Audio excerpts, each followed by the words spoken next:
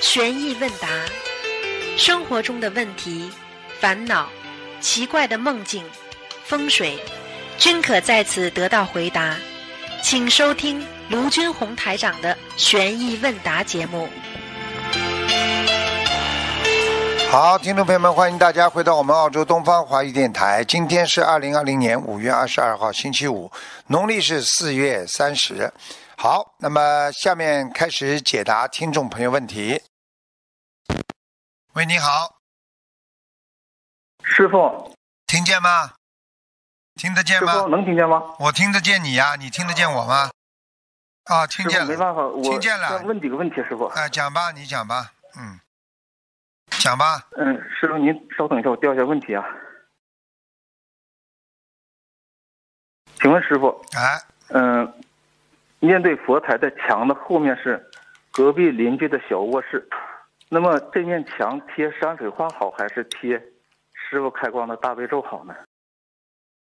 你的你说是面对佛台的对面是吧？嗯，对对对，啊，那大悲咒也可以啊，呃，山水画都可以，两个都可以，都可以是吧？都可以，嗯，好吧，嗯，嗯好，师傅，感恩师傅。嗯，好好好。师傅说，在佛友之间做生意就是敛财，出佛菩萨身血。许多同修可能还理解不了这之间的关系。有的同修说，我不赚他的钱，成本多少就卖给他多少，应该觉得没有问题。有同修对于这个普遍的问题做了一些思考和理解。呃，请问师傅，是不是他可以这样理解呢？由于同修在朋友圈看到做生意同修发的一些产品信息，导致这个同修购买他们的产品。虽然做生意的同修没有刻意跟同修宣传产品信息，但是我有看到买了他的产品，就已经构成了敛财出佛身血呢。请师傅开始。没有，根本没有，师傅从来没这么绝对的讲过，听得懂吗？师傅的意思就是说，嗯，你如果今天是，比方说你做个生意，今天你因为学佛了之后，你去刻意的推销自己的生意，听得懂吗？人家佛友是跟你一起学佛的，人家不是来买你东西的，那你是不是叫出佛身上学啊？对不对啊？嗯嗯嗯哎、如果你今天不是，你今天不是刻意的被人家看见，人家来买东西，那当然是很正常了。你自己良心做你的护卫吧，对不对啊？你今天不是有意的去在在学佛人身上去赚他们的钱，你当然不出佛身上学啊。你今天是完全是有意的在佛友那里去宣传你的产品，让人家买，那你是不是不对啦？对不对啊？如果你只是人家愿意来买，啊，不是你宣传的，你买卖该怎么样买卖就怎么买了，那对不对啊？嗯，是是是，好了，嗯，感恩师傅开始。嗯，呃，一位同学梦到他乘坐飞机去武汉，但是在高空中飞机颠簸很厉害，他经常从飞机上跌落下来。但是很奇怪，他很平安的落地，没有受伤。地上的人员看到他都很惊奇，为他开心。他感觉离武汉还有两百来里地，就在当地找了地住的地方，想第二天再坐车去武汉。整个场景都是白天是明亮的。感恩师傅，请师傅慈悲解梦。应该应该这个像这种梦境的话，实际上啊，不管到哪里，哪里是没有关系的。最主要就是如果飞机上平安降落，也就是说有一些颠簸，就是有一些生活啊、前途上啊、事业上有一些烦恼吧，因为有一些业障吧，应该能够过得去啊，能够克服，明白了吗？嗯，这个男同修是他遇到关了嘛？他六月份他是二十三岁的生日。这种没有关系的，好好念念经嘛就好了。应该应该像这种梦嘛，就是说有一点烦恼，有一点麻烦，但是都过得去的，好吧？好好好好，感恩师傅。嗯、请问师傅，如果五六岁的小孩子睡觉的时候眼睛稍微有点睁着睡，这个有什么说法吗？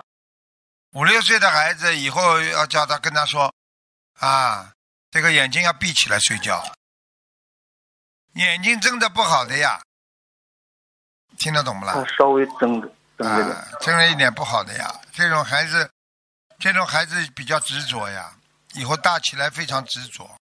而且这种孩子，人家说为什么眼睛要闭起来啊？闭起来不害怕呀，睁开看到现实生活当中、社会当中，尤其你睡觉的时候属阴啊，属阴，你的眼睛必须要关起来了呀。你明白了吗？所以过去为什么我问你呀、过去问人死了为什么把他眼皮要耷下来啊？叫死不瞑目呀，对不对呀？人死掉之后眼睛还看着阳间呢，你你你看看，你看死掉的人眼睛睁着多多吓人呐、你说你眼睛闭起来像不像睡觉啦？好了，嗯，感恩师傅。嗯，请问师傅，同修去买鱼放生的时候，鱼老板说他也跟着放几条，同修就随缘帮了于老板放了几条。啊，有人问过了放，生回来后，他的镯子打坏了，一下午不是打翻这个东西，就是打翻那个东西。有人问过了这个消灾来有人是帮有人于老板有有人背业了问过了这个师傅答复了，已经是帮于老板背业了。对了对了，于老板业障很重，杀了多少生啊？从这个事情上看，大家要接受教训。他说帮我放几条，他随便讲的，你真的帮他放，就背大业了。嗯。那么，同修想问，下次同修如果遇到这种情况，是不是后面可以加上给于老板某某某放生，于老板自某某某的业障他自己背，不让我某某某背，这样是不是稍微好一些呢？不是啊，他叫你们放的，你就说替于老板某某某放的呀，他自己的业障自己背嘛就好了呀，嗯，听不懂啊？好，感恩师傅。哎，又不是你们放的了，他自己要放的呀，你是替他放呀，众善奉行呀，你没罪的呀。但是你要讲清楚呀，你替他放的话嘛，人家他所有他杀的鱼生全部都来找你们了呀。嗯，好，感恩师傅。呃，某地佛山小组的菩萨像之前都是在法会请的师傅开过光的，但是现在如果请的菩萨像没有了，有没有法会可以去结缘？请问师傅，我们能不能自己打印质量好的菩萨像，然后设佛台的时候按照念诵圣号的流程，请菩萨进入宝相呢？可以的，可以的，可以的，嗯，好，感恩师傅。嗯，呃，梦见莲花心上像水晶的球在转动。师傅之前说过，摩尼珠在莲花的心儿里。请问摩尼珠在转动是什么意思呢？摩尼珠转动的话，就是你的本性在转动呀。就是你比方说，举个简单例子，人家叫你去偷东西，你说这怎么可以偷东西啊？五戒里边啊，这个里边偷盗啊，哎，我学佛人怎么可以有这种情况？那，不管是什么样情况，我都不能参与的。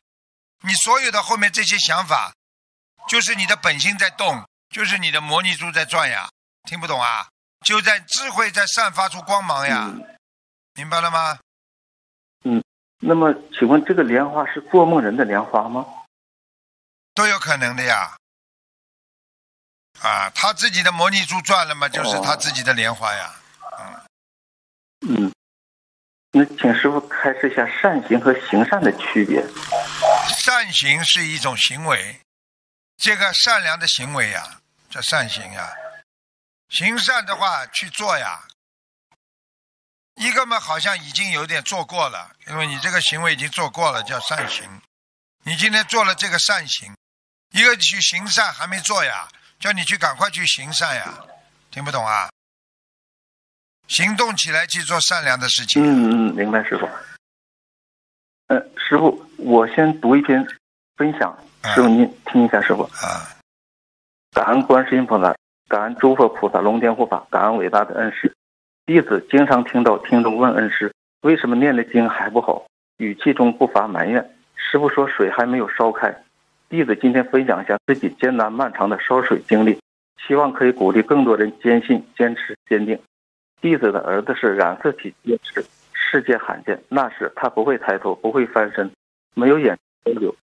弟子在绝望中闻到我们法，一喜若狂。每次烧送，啊，都看孩子马上就会走路说话。可是念了三百多章，孩子毫无动静。正在犹豫之际，菩萨保佑弟子打通节目电话，问师傅为什么念了三百章，孩子没有什么进步，狮子恩师的一顿狮子吼把我从睡梦中叫醒，我这才明白，学佛不是做交易，不是急功近利，而是一种坚持，一种发自内心的忏悔，一种水滴石穿的努力。终于在学佛的第三年，孩子学会了步爬；第四年，孩子学会了四点爬；第五年，孩子学会了走路，学会了叫妈妈；第六年，孩子学会了爬楼梯，学会了踢球，学会表达自己的想法；第七年，也就是最近，孩子学会了串珠子，学会了做算术，而且终于改掉了吃手吃衣服的坏毛病。弟子真的无比感恩，当年恩师曾说，他本来几个月就要走人的。现在居然延寿了七年，而且一步一步创造的医学奇迹。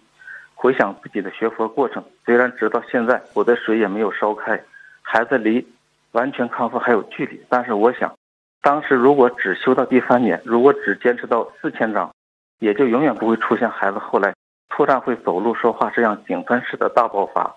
儿子有个吃手吃衣服的坏毛病，皮衣书当中见什么啃什么，多次咬得我们鲜血直流。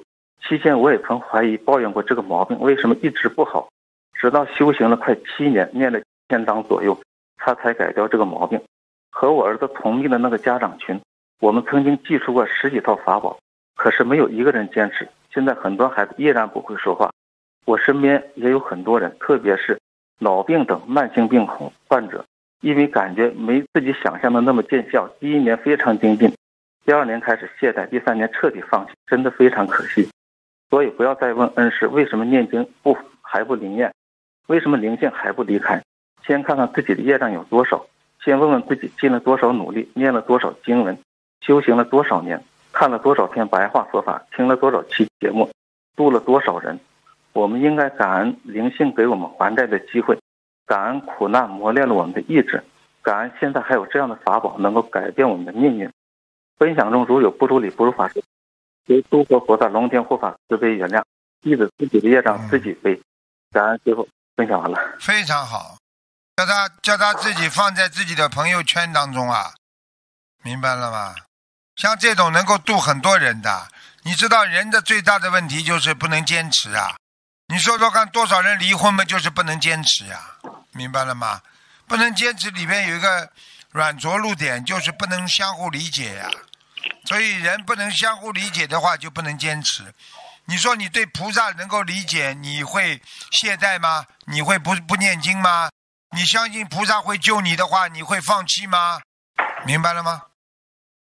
嗯嗯嗯，感恩师傅，明白。同修做梦梦到师傅跟他说，师傅一个月能开一万多，做梦同修只能开一千四百多，另外一个男同修能开三千多。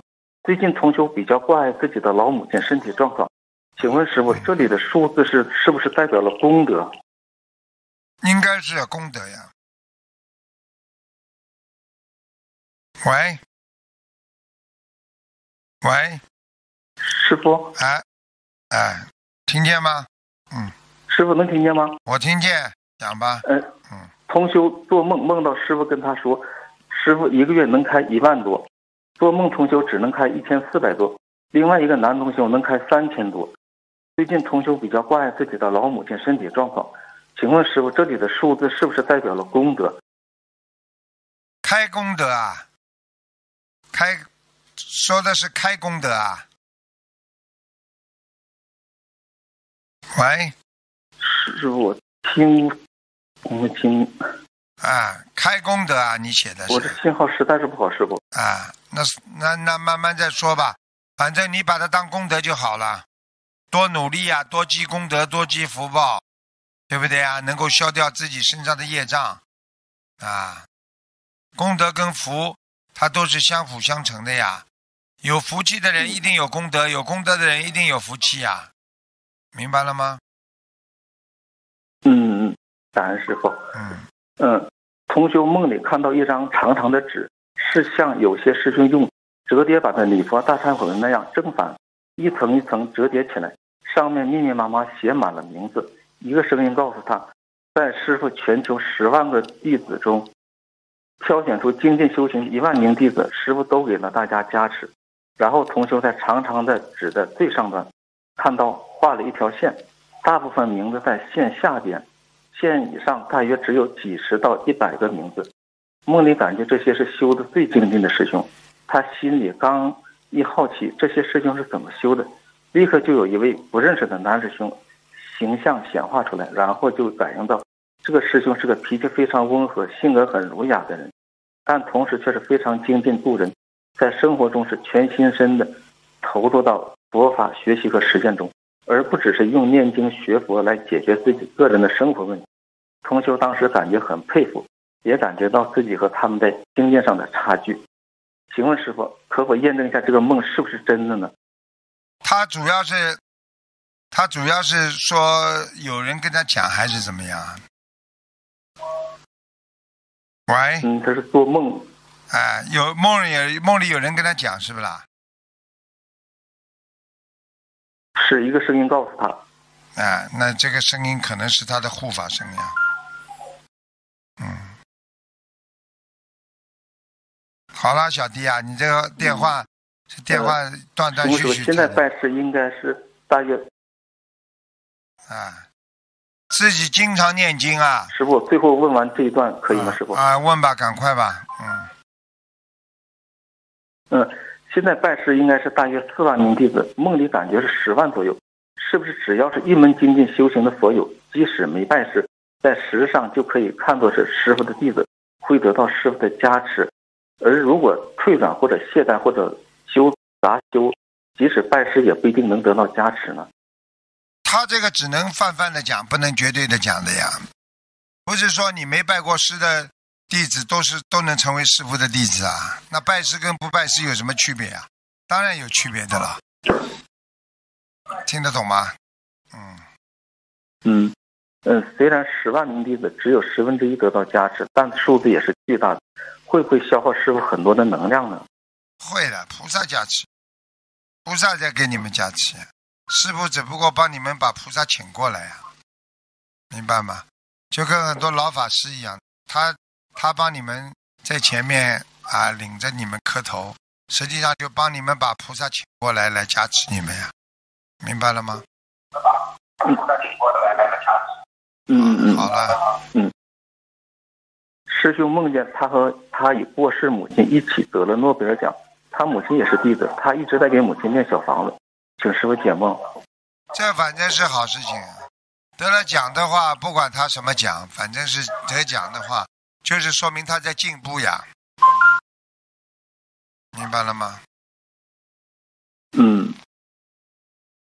师傅来信解答三百六十七里，有人在梦里遇到危险时会念六字大明咒或大悲咒。然后就冒出熊熊烈火，对方烧对方。师傅开始说这个火很厉害，请问师傅，有时有的同学梦里面六字大明咒时，双手会产生很强的气波能量，能隔空将灵性推到很远的地方，甚至无影无踪。请问师傅，这两者有什么区别吗？会不会伤害灵性呢？肯定的啦，你把它推得远的话，你推得重的话，当然伤害他，他跟你结冤呀，跟人一样的呀。所以很多人家里有鬼的话，他去找道士拿把宝剑把他杀了，杀了之后你这个跟这个鬼结冤了呀，他他的那个灵体还会再现的呀，再现的话他就盯住你不放了呀，因为你曾经伤害过他，听得懂了吗？嗯，好了。呃，有佛友梦到同修出现在一座佛塔里，很像，很像《西游记》唐僧扫塔，塔顶有舍利子那个塔，佛友就问同修。你怎么在这里修行了？同修说：“我在守护舍利子。梦里看到塔的第一层人比较杂，第二层清净很多。同修他们在第三层整理资料，很多牛皮纸、档案袋，还有人在打打印、复印，像个办公室。档案袋堆在桌子上好高，房间都快堆满了，点的好像是油灯、蜡烛之类的。请师傅解梦。这个没什么，这个就是进步呀。”学习在梦中出现的学习场景，都是代表着进步呀。嗯，好了，不能给你太多时间了，好吧？哎，守护舍利子是什么意思呢？什么？守护舍利子就是守护，就是守护正法呀。自己让自己被感恩师傅。嗯，就是守护正法，好吧？嗯，好了，那就这样。嗯嗯，好好好，感恩师傅。喂，你好。台长你好，哎刚才没听到，他不知道几个电话一起打的，太多了，太多了。太多电话。讲吧讲吧。帮解梦同修的同修梦到自己的双脚变变成鱼的尾巴，同修一直努力的尾巴往上飞，同修还看到以前的同事在餐厅用餐，同修没打理他们，同修一直往上飞。请财长解梦，他梦到自己的脚变成鱼的尾巴，哎呦，飞鱼啊，嗯，他曾经做过瑞兽啊，飞鱼啊，哎，天界的飞鱼啊，哎哇有飞鱼啊，天上都有飞鱼的吗？啊，天上有的呀，天上又没水的了，但是它也叫海呀，明白了吗？啊嗯，啊，明白。这个好不好啊？这个是他好不好呢？他的这个这个就是让他知道了他的前世呀，更要努力修心呀。你说你如果变成条鱼，好不啦？你就是天上过去的瑞兽，你变条鱼还是傻傻的呀？啊，明白嗯。这个是同修的梦，同修梦到自己哎，想说，同修梦到我的丈夫去世，然后我带着女儿嫁给一个外国人。梦里我跟各位外国人很般配，两个人都露出幸福的样子。请师傅解梦就是他的命根当中还有婚姻呀。啊，他现在现实当中是不是一个女人啦？她有丈夫的她有丈夫啊，要她当心啊。嗯啊嗯，以后老公死掉了，她有她有二婚的，很可怜。哦，她要怎样化解呢？这个怎么化解嘛？好好的念呀，念念姐姐咒呀，姐姐咒之后就化解了呀。嗯，哦，明白。许愿多少次？一万遍还是每一？万遍至少的。嗯，哦，明白。啊，这个是同学的问题。我们另送的要经的和消除业障小房子之间有哪些分别？什么？我们另送的要经的和消除业障的小房子，这两这两种有哪些分别？消业障嘛是消业障呀，对不对呀？还有一个叫什么？啊要金者啊，要金怎么一样的呀？要金怎么人家来问你要金，你也是要还给他还债呀？还债不就宵夜吗？你说有多少区别啊？差不多，嗯。我问你，叫爸爸好还是还是叫你还是叫你爹好了，还叫你 daddy 好了哦，一样的呀。你说哪一种好一点的？你喜欢偷懒的人们就叫就叫爹，对不对啊？不偷懒的人叫爸爸，对不对啊？啊，啊呃，不哦偷懒的人啊，这个这个叫外孙啊，孙子，对不对啊？啊，有有些老人家叫孙就可以了，子都不在。哦，明白了。第二个是同学的问题，要经得的小房子可以超度身上灵性，还可以消除身上的业障。那么消除业障小房子是如何消业障的？消除消除什么的小房子如何消业障啊？消除业障的小房子是如何消业障的？我问你啊，人你欠人家钱，人家盯住你了不啦？盯住盯住你是不是业障啦？是那你现在拿小房子还给人家，人家走掉了，是不是你业障就消掉了啦？对好了，听不懂啊？这个也是同学，还有啊同学的同学讲超送消除业障小房子要如何针对身上业障来祈求？像这种嘛，如果知道灵性在哪里，你可以说针对身体上哪个部位。如果他没让你痛，你最好直接老实一点，就念消除业障的小房子就可以了呀，明白了吗？明白，这个也是同修的最后一个问题，同修的消除业障小房子数量是否要配合要经者的小房子，以达到消除身上业障的身上的业障有更好的效果？一样的，每个人念的小房子数字不数量不一样呀，因为你的业障重，多念一点；你的业障轻就少念一点呀。你的块头大，多啊穿的大一点，大号的；你的业障小，你就小号的呀，一样的呀，明白了吗？哦，明明白。嗯。啊，明白。台长帮我解一个梦。今天早上我梦见我感觉我躺在晚上躺在床上的时候有有蛇，我看到蛇从我的脚爬去，有两只我看到蛇有头上有有角，那个那种好像牛的角那样。我问台长，怎么会有有角蛇？台长说蚂蚁窝里的蚂蚁都有角，好了，这个是什么意思呢？这还不懂啊？有烦恼呀，但是但是已经离开你了呀，你本来有麻烦了，因为念经啊，你你当心啊，不要经常有麻烦的，经常有麻烦不好的。好了，好，好了，好了，好，台长帮我开这两，哎，台长，对，还有一个问题，台长讲我一直问图腾会被业，这个是什么意思呢？台长，什么意思啊？你经常帮人家的话，你是不是帮人家背业啦？对人家好的话也会背业的呀。做好思想准备，要对人家好的话，哪有不背的？举个简单例子，这个人人家都很恨他，你对他很好，你说人家会恨你不啦？不叫背业啊？会。好了，嗯，好了，再见了，再见了。如果手上的，哎，台长，台长，关掉了，关掉了，好了，好了，好，好，感恩台长。好了，好了，再见了，再见了。喂，你好，哎，呃，师傅好，哎，嗯、我们各自一辆各自飞，不让师傅飞，请师傅慈悲开始一下问题。呃，就是如果有师兄在观音堂值班一天，他累了，中午在桌子上趴一下睡一下，可以吗？谁说不可以的？当然可以。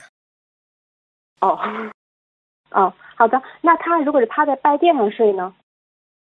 也可以啊，你趴在拜垫上睡，你念经念了睡着了，不就在拜垫上吗？嗯，是的。嗯，那那个呃，在这个时间上呢，是不是比如十分钟、二十分钟就可以？有没有这个时间要求？没有，没睡醒、哦继续睡，啊，趴在白天上睡总比、总比你啊这个乱七八糟杂念太多好啊。念经念了累了，趴在那里睡也是个好事情啊。嗯，哦，菩萨都看得到的。嗯，嗯，好的，感恩师傅。呃，像有的人他是生前想出名没有，后来就是过世就出名了，像这种是什么因果呢？什么因果还不懂啊？阴间里有名呀，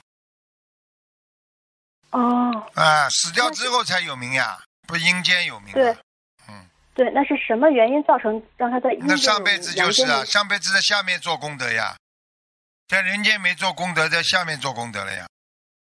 哦哦嗯、哦，好的，哦，明白了，感恩师傅。嗯、如果有师兄他梦见在世的人跟他要钱，像这种是在世人的要经者超度，还是嗯，还是这个师兄的要经者要超度？就是那当然，师兄啊，师兄超度自己超度自己身上的要经者也可以呀。你超度这个知道对方的名字也可以的呀。嗯、对方是在世人，不是亡人。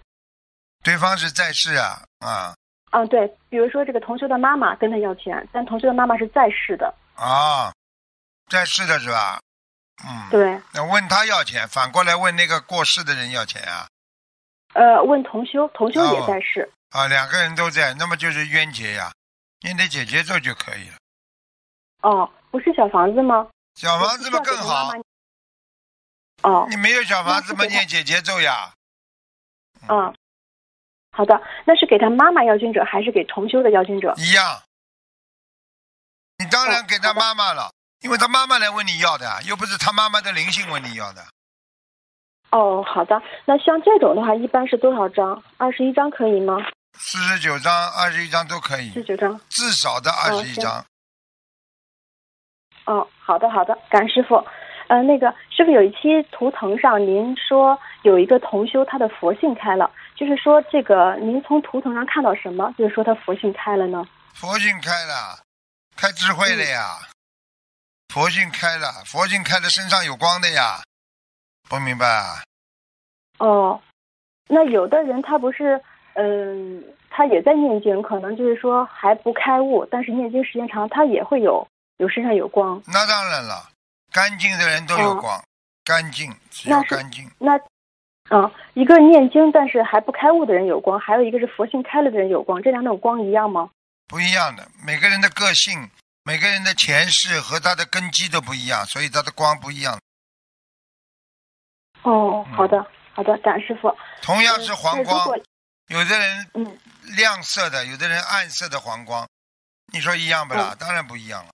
嗯哦，对对，是的，嗯，那如果一个同修他增加了这个深般若或小般若，他的莲花会有什么表现吗？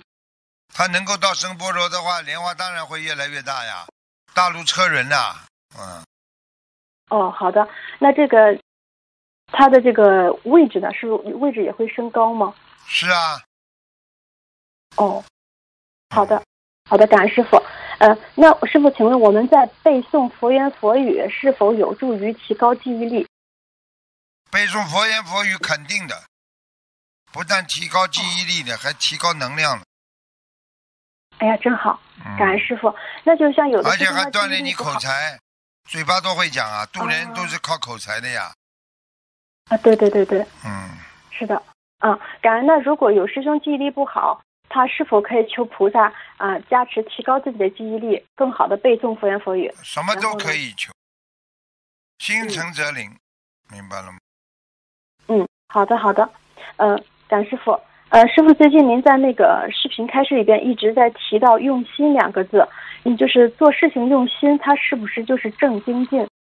对呀、你说不单单是正精进了，忍辱要用心不啦？般若要用心不啦？那要又不是单单指一个，什么都要用心的呀，对不对呀？无心哦对对对，啊，你有心的话，你这个人家说能量就大呀，明白了吗？嗯嗯，嗯，对。呃，最近我们在背诵佛言佛语，像有一些句子，年轻人他可能需要三五分钟就背下来了，很轻松。然后年长的师兄可能需要二十分钟，甚甚至三十分钟，反复的去做。像这种情况下，他们得到功德一样吗？不一样的。就用心的人，我就问你我我就问你嗯，记马上记得住的人和记了半天记不住的人，你说一样不啦？嗯不一样。那好了，还要想啊，还要嗯啊，那根基不一样呀，他年轻呀，他年轻人的根基和年纪大的人根基不一样。那年纪轻的人，他因为年纪在那里放着呢，所以他的业障就少啊。年纪大的人一辈子这样，他的业障很重的呀。他过去年轻的时候杀业不知道的呀，对不对呀？啊，对，哎，做错很多事情了，越活得长，在人间事情做的错的越多呀，这还不懂啊？嗯，对对，啊，就像有一些年长的师兄，他背这个很难，然后但是他们非常用心，有的甚至不识字，就听别人反复读，就他们这个用心的过程让很多师兄都很感动。那他们这个是不是也有一种表法的功德，就让那当然别人看到？绝对的，绝对的，嗯，功德很大的，让人家感受到他的努力也是一种功德呀。对对对对，嗯。好的，好的，感恩师傅。呃，有一期就是最近您说过一句话叫“先执行后理解”，请问师傅怎么理解这句话？这还不懂啊？嗯，爸爸妈妈。跟你说多穿点衣服啊，孩子说我不冷嗯，因为家里很热嘛。嗯妈妈说你穿着你就知道了，你先嗯说那热的不得了，你也得穿着，出去一会儿就冷了吗？你是不是先执行后理解啦？因为你理解的不对呀、因为你不一定理解妈妈跟爸爸的用意呀、对不对呀？比方说老板，啊，老板今天要提拔你了，先让你到车间里去，你本来在科室里的，突然之间怎么到我到科到到到到车间里了？不理解呀、嗯。然后就觉得老板不好，那你先执行呀，叫你到车间嘛就车间，车间三个月之后，老板就让你在车车间里做主任了呀，这还不懂啊？嗯你当然应该心里先理解后执行呀。师傅，什么叫师傅了？师傅就比你们什么东西先早一点呀？这还不懂啊？师嘛就是为上呀，为前呀，都一样的呀。嗯嗯对是，嗯，那对于共修组来说，有时候共修组可能做一个决定啊，作为这个师兄来说可能不太理解，像这种情况下，就是先执行后理解，对于共修组一样什么就是说，如果你执行的是对的，那当然就是先执行后理解。问题共修组里面的领导，他不像样，他讲出来的不对，你也先执行啊嗯，你不就犯罪了？嗯嗯嗯要看谁的呀？师傅跟你们讲的话，你当然相信了，否则你磕头拜师干嘛？嗯嗯。对不对呀？是不会害你们的，就这样了。不会。哎，好了，，是的，嗯。嗯，那那个如果这工作组的决定是对的呢，或者说比如说啊、要举办法会等等，有很多事情啊。需要去对的对量的嘛就先决先执行后理解，嗯，对不对啊？好的，很简单，你过去讲还少数服从多数呢，哎，就这么简单。哦，是。啊是是。啊！啊，那除了师傅的话，还有什么人的话，我们需要就生活中菩萨的话呀菩萨早就在经文上都写着了，叫你们无挂碍故呀，不要挂碍呀，你不听啊？对不对啊？嗯菩萨告诉我们无苦集灭道，对不对呀？你要把苦啊全部都要忘记的呀，因为你不能背这个嗯苦在人间活着呀，对不对呀？啊，嗯菩萨让我们消除贪嗔痴。你自己做一件事情的时候，你讲对不对？我听菩萨的，菩萨问你就问自己这件事情你贪了没有？你恨了没有？你做的这件事情愚痴不愚痴？那么你就不就是嗯听菩萨话了吗？嗯，对，好了是，的。嗯呃，那生活中可能有我们面对的还是嗯、普通的众生。那这种这样的情况下，除了师傅、除了菩萨给的灵感之外，那面对这样的人，就是什么人的话，我们要注意，就是先执行后理解呢？听师傅的话嘛够了，你还要什么样的人其他的用你的自己的，用你自己的本性，好好的啊做你的护卫。其他的人啊话少听了，我告诉你，你听了哦之后烦恼，在人间嗯，你对不对啊？非礼勿听，非礼勿言，非礼勿信，非礼勿动，不是嗯在理上。对不对呀？你就不要去搞，搞了你没好处的。师部嘛，你因为是拜师，他就是你的方向呀。就像我们到学校里，嗯你不听老师，听谁的啦？啊，是，好了。嗯，好的，好，感师傅。呃，师傅您还经常说到一个词“仙哥哥”，这是一个南方用语，像北方的师兄可能很少听到。那个，所以请师傅从心理学角度开始一下这个“仙哥哥”后边的心理活动。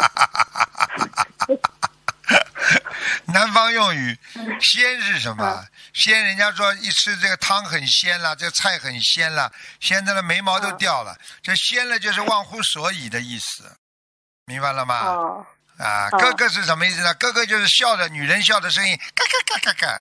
你说这个人，这个人忘乎所以的这么笑，你说是不是轻浮啦？你说一个女人仙哥哥的话，是不是讲到轻浮啦？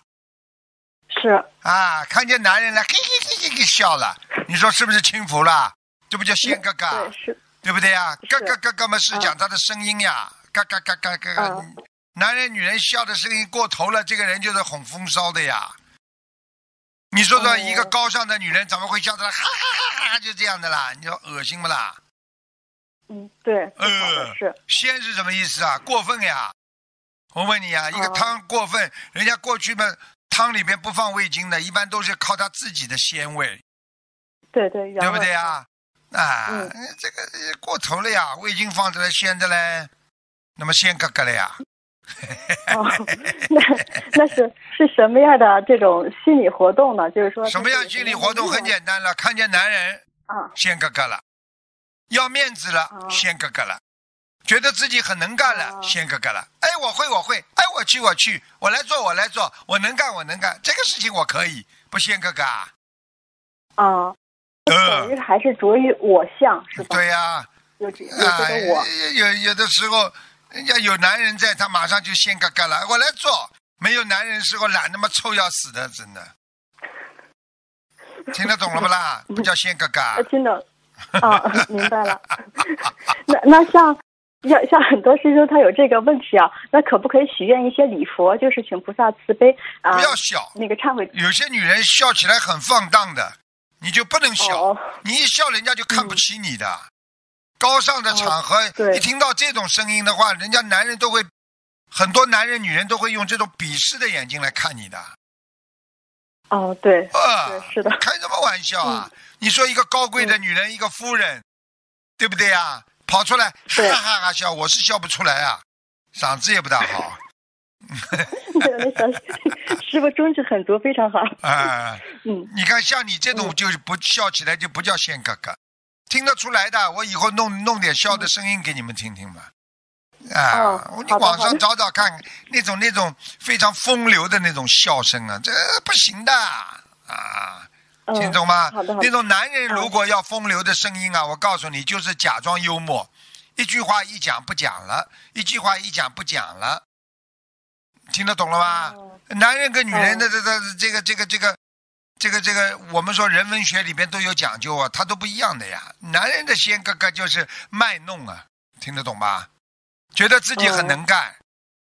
嗯师傅讲个小小的笑话给你听听了。有一次在这里接待一个大的法师，啊，是都嗯。都通知啊，师傅也去了，啊，在等，在等的之前呢，就看见几几个几个呃也是比较有名的吧，当地啊，哎呀，夸夸其谈，讲啊讲啊，哦呦，在讲佛法呢，因为大法师还没到嘛，明白吗？结果嗯。结果我就坐在边上一直听，结果等到过时候，他就跑过来跟我们握手，哎，您是您真信还是？我就跟他说，我是卢军红的。哎呀，你就是卢台长啊！哎呀，是你是你。哎呀呀呀呀，就他就觉得刚才他讲的，好像我们都不懂一样的，你听得懂吧？啊，你你这个这这个这个，有的时候你不知道啊，山外有山，天外有天呐，人外有人呐。是的，是的，这个开玩笑了，这个世界你必须要低调。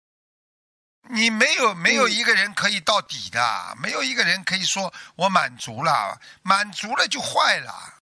只有永远能够装进自己啊，不断的吸收新鲜的氧气，你才能茁壮成长啊，对不对啊？哦，啊，对对是的嗯，所以等于是这这种仙哥哥的这个心态后边还有一种傲慢，就是自满，就觉得自己很很好，没有比别人好。没有，先哥哥一般都是讲女人的，南方人说女人，然后呢，就是男人也可以说，但是没有傲慢的。嗯仙哥哥的意思基本上就是傻傻的那种，哎呦，什么都能干了，哎呦，什么都会了，哎呦，本事真大嘞，就这样。嗯，好的，感恩师傅。呃，感恩师傅。那师傅，如果说我们想改掉这个习气的话，可不可以就是许愿礼佛啊，请菩萨帮助我们去除这种仙哥哥的这种习气？可以啊，完全可以啊，啊真的。嗯，我不骗你啊好的啊，人家说，人家说有的时候一个人太仙了，呃，这个我告诉你就要出事。嗯，哦，好觉的，觉得他自，己太。了不起了，哎呀，觉得自己哎呦很有名了，功高我慢了，这个人不行的，被人家看不起的，你明白了嗯吗？，好的。好了，嗯，感恩师傅。那个最后一个问题，就是在图腾电话有一个重症的小女孩，您说她的名字不好，这个名字会削掉她的灵魂，让她尽快改名字。后来呢，也就是发邮件问东方台，也没有还没有回复。呃，师傅可不可以帮她改一下名字？现在就改。就是我们东方台嗯电台里边的很多很多秘书处的小孩子很官僚的，我告诉你。呃，是是师傅要师傅要改革的，嗯要要改革。嗯啊，讲吧请示啊，嗯请师傅慈悲啊，她是二零零八年属老鼠，一个女孩儿啊，取了八个名字，一二三四五六七八，请问取哪个？二零零零八年啊，零八年属老鼠女，看看对，一二三四五六七八是吧？嗯，对。第六个叫什么啦？第六个呃，萧怡涵，生肖的肖，啊、心旷神怡的怡，包含的含。这个这个前后主韵倒不错，但是听起来不好听，因为寒就是寒冷啊，属阴的，明白吗？哦移呢就是比较容易移动啊、变异啊，都不好。哦，第三个呢？第三个第三个啊三个是萧静怡啊，那个第二个是安静的静，萧静怡，怡还是心旷神怡的怡，竖心旁。嗯，这个好。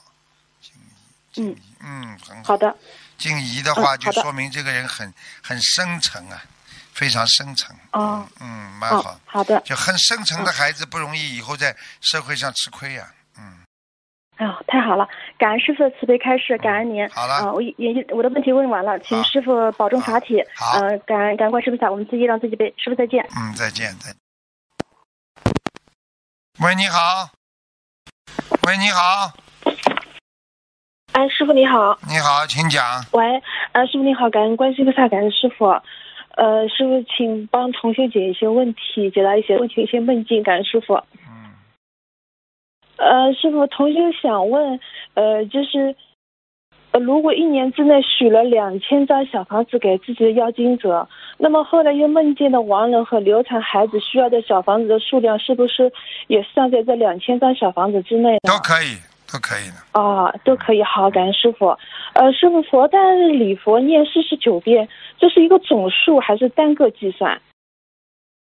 念礼佛啊，嗯，就是佛诞日我们现啊，那是应该是总数了。哦，就是我自己念了以后，不能再给家人念了，是吗？嗯，应该不要太多。嗯嗯，好，感恩师傅慈悲开示。嗯，嗯，请教师傅，就是我们供奉柿子的时候，那个叶子是朝上还是朝下？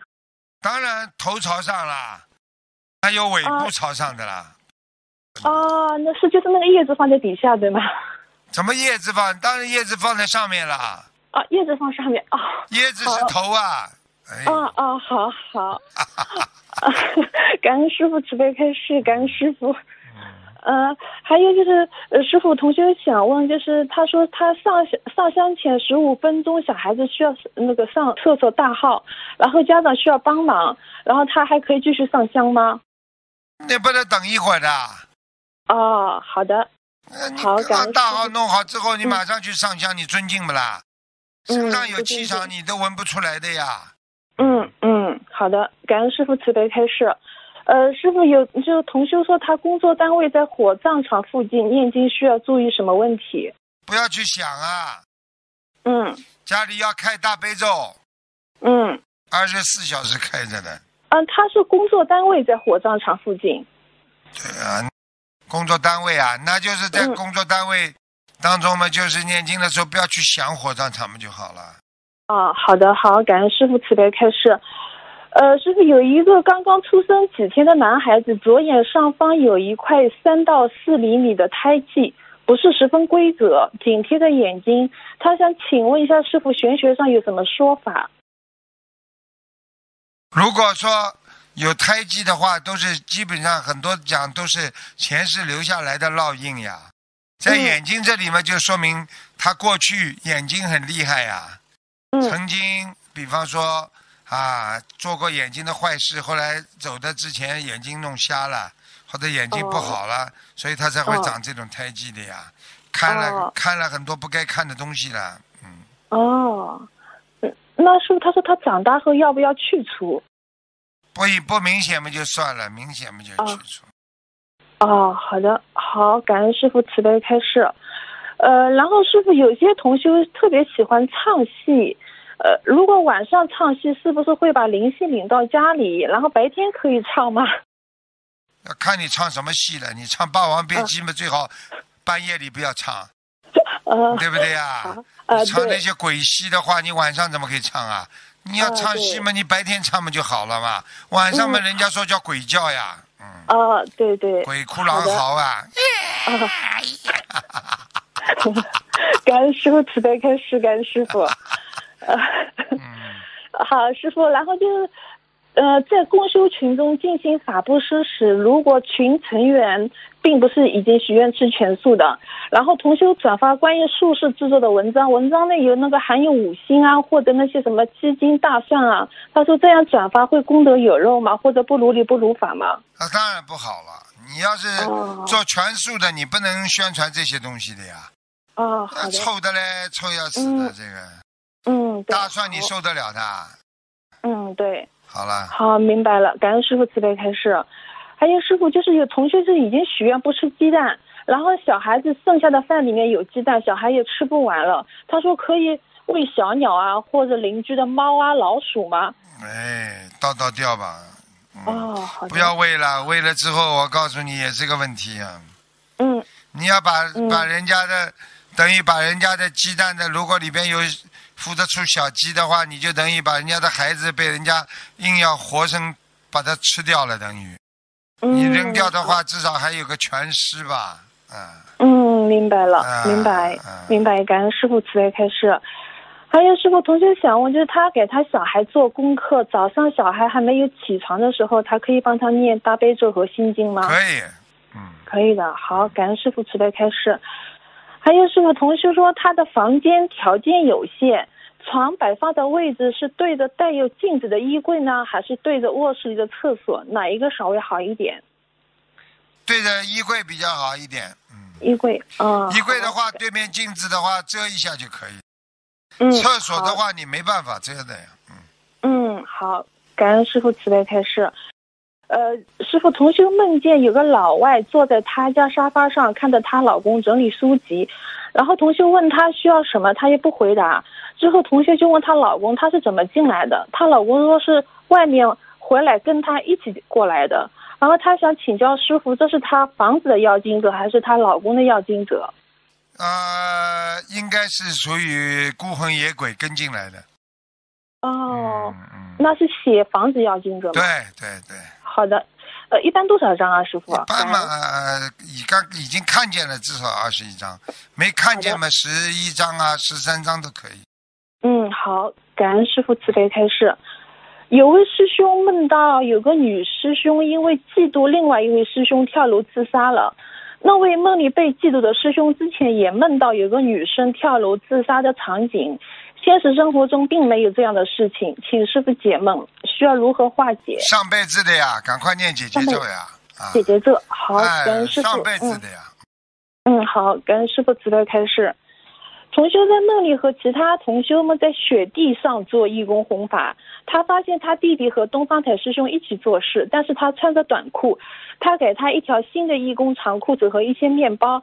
同修的弟弟还没有开始学佛，他向秦师傅解梦，他今年三十六岁，也破财。是啊，嗯，他只有学佛之后，他以后才会聚财呢。嗯哦，这样子，就是让他度他弟弟？对呀、他弟弟以后一定会做义工的。嗯哦，好，感恩师傅慈悲开示。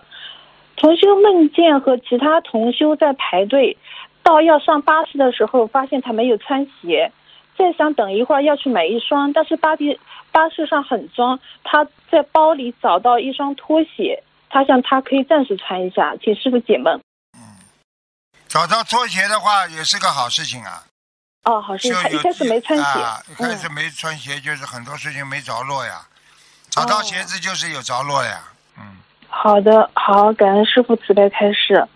呃，同就是同修梦见师兄家的佛台从阳台搬到家里，不是咱们的菩萨像了，而且佛台也不是原来的佛桌，在阳台做了其他了，点的香也换成那种弯弯拉拉的特别长的香。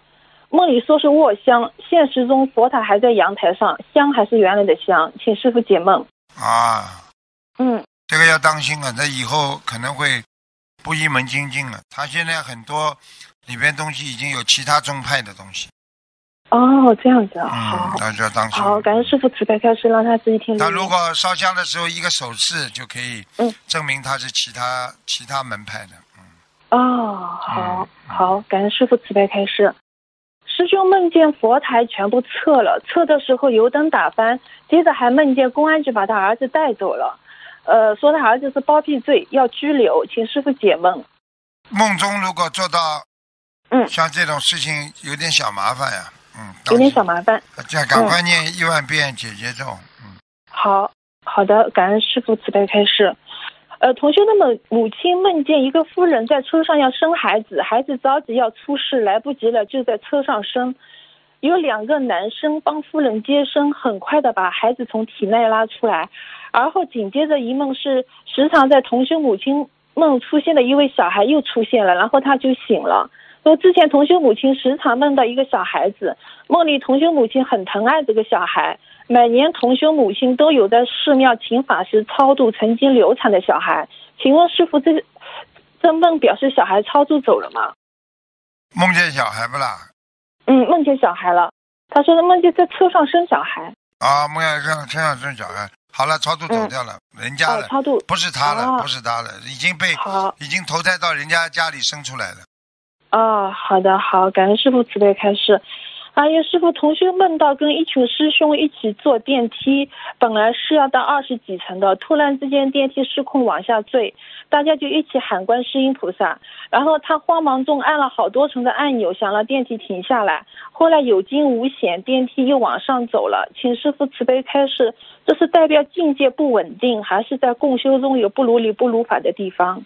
都不是，有劫。哦凡是、凡是某一个事情，只要坐嗯电梯往下跑的话，都是劫难，哦，都是不好的。哦最后还是上来了，就是惊有惊无险的。